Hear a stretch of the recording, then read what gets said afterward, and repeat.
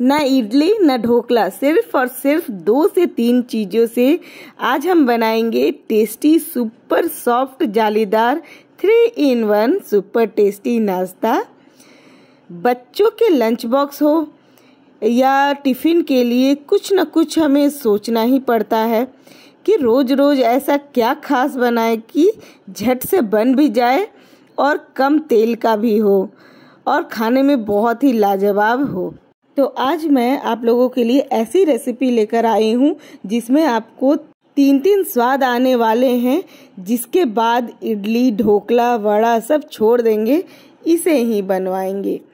तो चलिए, इस आसान सी, झटपट सी ना के बराबर तेल वाली रेसिपी को स्टार्ट करें कि कैसे बनाएँगे, और वो भी बहुत ही हेल्दी तो इस सुपर टेस्टी जालीदार नाश्ते को बनाने के लिए मैंने यहाँ पर लिया है एक कप पोहा। आप इसके लिए कोई भी पोहे का इस्तेमाल कर सकते हैं। मोटी चाहे पतली कोई भी पोहे का।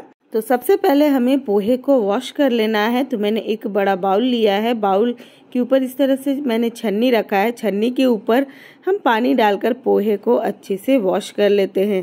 तो यहाँ पर इस तरह से दो से तीन पानी से धोएँगे ना तो ये आसानी से अच्छे से धुल भी जाएगी। और इसे धुल कर हमें पंद्रह मिनट के लिए रेस्ट पर रख देना है। पंद्रह मिनट के बाद देखिए, पोहे जो है वो सोख हो गई है, फूल गई है अच्छे से। तो इसे अब हम छन्नी से हटा लेते हैं और इस पोहे को अब हम डाल लेंगे एक मिक्सी के जार में। तो मैंने सभी पोहे को बड़े वाले मिक्सर जार में मैंने ट्रांसफ़र कर लिया है और पोहे के साथ साथ बाइंडिंग के लिए मैं इसमें डाल रही हूँ एक कप सूजी रवा। और सूजी भी आप बारीक, चाहे मोटी कोई भी सूजी का आप इस्तेमाल इस स्टेज पर कर सकते हैं। और यहाँ पर मैंने तीन चौथाई कप के करीब दही लिया है। मैंने दो कप, एक कप सूजी और एक कप पोहे का इस्तेमाल किया है और इसमें तीन चौथाई कप मैंने दही लिया है। दो हरी मिर्च मैंने लिया है। तीखे आप अपने स्वाद के अनुसार ले सकते हैं और इसमें एक इंच अदरक का टुकड़ा लेंगे। और इन सभी को हमें फाइन ग्राइंड कर लेना है तो आप देख सकते हैं। जो हमारा पोहे और सूजी का जो मिक्सचर है वो बनकर तैयार है ग्राइंड होके। तो इसे अब हम दो पार्ट में डिवाइड करके निकाल लेते हैं। दो इक्वल पार्ट में। तो मैंने सभी को दो इक्वल पार्ट में इस इस बैटर को डिवाइड कर लिया है और इसमें से एक पार्ट हम लेंगे। एक पार्ट में हम थोड़ा सा नमक डाल लेंगे। तो नमक आप अपने स्वाद के अनुसार डाल सकते हैं। और इसमें मैंने एक इनो का पैकेट लिया है, ग्रीन वाली, लेमन फ्लेवर वाली, और इसे हम आधा पाउच इसमें डाल लेंगे। आधा हम बाकी रख देते हैं। तो मैंने इसमें हाफ़ पाउच इस्तेमाल किया है और इसके ऊपर एक्टिवेट करने के लिए एक छोटा चम्मच मैंने पानी डाला है। बस इसे अच्छे से मिक्स कर लेना है, फेंट लेना है ताकि जो इनो है वो अच्छे से मिक्स हो जाए। और ये मैंने एक ग्रीस किया हुआ प्लेट लिया है, जिसे मैंने पहले से ही ऑयल से ग्रीस कर लिया है। उसमें सारे बैटर को डाल देंगे और अच्छे से सारे बैटर को स्प्रेड कर देंगे। हल्का सा थाली को टैप टैप कर देंगे ताकि ये अच्छे से सेट हो सके, जो बैटर हमने डाला है। और मैंने कढ़ाई को, कढ़ाई में पहले से ही पानी गर्म होने के लिए रख दिया था। पानी गर्म होना शुरू हो गया है। तो इसके ऊपर मैं जाली डाल दे रही हूँ और इसे ढक देते हैं। ढककर सात से आठ मिनट तक हम इसे पका लेंगे। जब तक ये स्टीम हो रहा है तो चलिए आगे का प्रोसेस स्टार्ट करें तो यहाँ पर फिलिंग के लिए मैंने यहाँ पर इस्तेमाल किया है आलू। तो मैंने चार उबले हुए आलू लिए हैं और इसे आप कद्दूकस कर लीजिए, चाहे हाथों से मैश कर लीजिए। और इस आलू में हम डाल लेंगे थोड़ा सा नमक। तो मैंने आधा छोटा चम्मच नमक का इस्तेमाल किया है, एक चौथाई चम्मच मैंने काला नमक इस्तेमाल किया है, आधा छोटी चम्मच जीरा पाउडर, एक चम्मच मैंने कश्मीरी लाल मिर्च पाउडर का इस्तेमाल किया है। आधा छोटा चम्मच गरम मसाला पाउडर और साथ में हल्दी पाउडर डालेंगे तो थोड़ा सा मैंने हल्दी पाउडर डाला है, आधा छोटा चम्मच के करीब, और एक चम्मच मैंने यहाँ पर चिली फ्लेक्स का इस्तेमाल किया है। और मैंने यहाँ पर एक प्याज लिया था, जिसे मैंने बारीक चॉप कर लिया है। ये करीबन एक चौथाई कप के करीब मेरा प्याज था, और उतना ही मैंने एक चौथाई कप इसमें शिमला मिर्च को बारीक कट करके लिया है और थोड़ा सा मैंने धनिया पत्ता लिया है। बस इन सभी को हमें अच्छे से मिक्स कर लेना है। तो आप यहाँ पर चम्मच की सहायता से चाहे मेरी तरह आप हाथों का इस्तेमाल करके इसे अच्छे से मिक्स कर लीजिए। तो ये देखिए हमारा जो मिक्सचर है, वो बनकर तैयार है आलू की फीलिंग। और यहाँ पर जो हमने स्टीम करने के लिए रखा था, वो भी अच्छे से स्टीम हो गया है। बस हम चेक कर लेते हैं तो मैंने सात से आठ मिनट के बाद इसे चेक करके देखा है। तो आप देख सकते हैं, चम्मच में कुछ भी लगकर नहीं आ रहा है। इसका मतलब ये अच्छे से स्टीम हो गया है। तो बस इसे हम निकाल कर ठंडा कर लेते हैं। तो मैंने ठंडा करने के बाद हम यहाँ पर लगा लेंगे हरी वाली चटनी, जो हमने स्टीम किया है उसके ऊपर। अगर आपको हरी चटनी की रेसिपी चाहिए तो आप कमेंट बॉक्स में ज़रूर बताइएगा, मैं वो भी शेयर कर दूँगी। और इसके ऊपर जो हमने आलू की फिलिंग बनाई है ना, उसे हम स्प्रेड कर लेंगे, उसे हम फैला लेंगे। चारों तरफ़ एक बराबर हम इक्वली इसे फैला लेते हैं आलू की फिलिंग। तो यहाँ पर आलू की फिलिंग भी हमने अच्छे से सेट कर लिया है।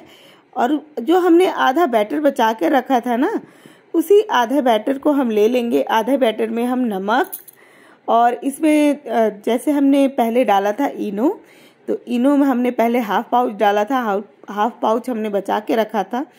तो हाफ़ पाउच इस स्टेज पर हम डाल लेंगे और इसके ऊपर भी थोड़ा सा पानी डालकर एक्टिवेट करके हम इसे भी मिक्स कर लेते हैं अच्छे से। तो इसे भी हमने अच्छे से मिक्स कर लिया है। इनो डालते साथ ही जो हमारा बैटर है वो अच्छे से फ्लफी हो गया है।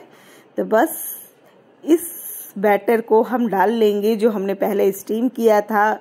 और जो हम जिस पर आलू की फीलिंग तैयार किए हैं, उसके ऊपर हम इस सारे बैटर को डाल लेंगे, पोहे के बैटर को, पोहे सूजी को, और इसे हम अच्छे से स्प्रेड कर लेते हैं इसके ऊपर। और अच्छे से इसे हमने स्प्रेड कर लिया। थोड़ा सा टैप टैप कर देंगे ताकि जो हमारा इधर उधर हल्का सा बच गया होगा, वहाँ भी अच्छे से हमारा ये मिक्सचर फैल सके। तो ये अच्छे से फैल गया है तो इसे मैं ले जाकर रख देती हूँ प्री हीटेड कढ़ाई में। तो कढ़ाई को मैंने पहले से ही गर्म कर लिया था और छः से सात मिनट इसे हम ढककर पका लेंगे। छः से सात मिनट स्टीम करने के बाद आप देख सकते हैं, मैं एक फोक घुसा कर देख रही हूँ। कितने अच्छे से ये पककर तैयार हुआ है। इसमें कोई बाहर चिपक कर नहीं आ रही है।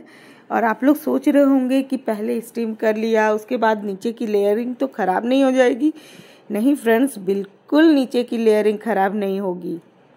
ये बहुत अच्छे से बनती है, बहुत अच्छा स्वाद लगता है। और इस तरह से मैं इस पिज़्ज़ा कटर से इसे कट कर ले रही हूँ।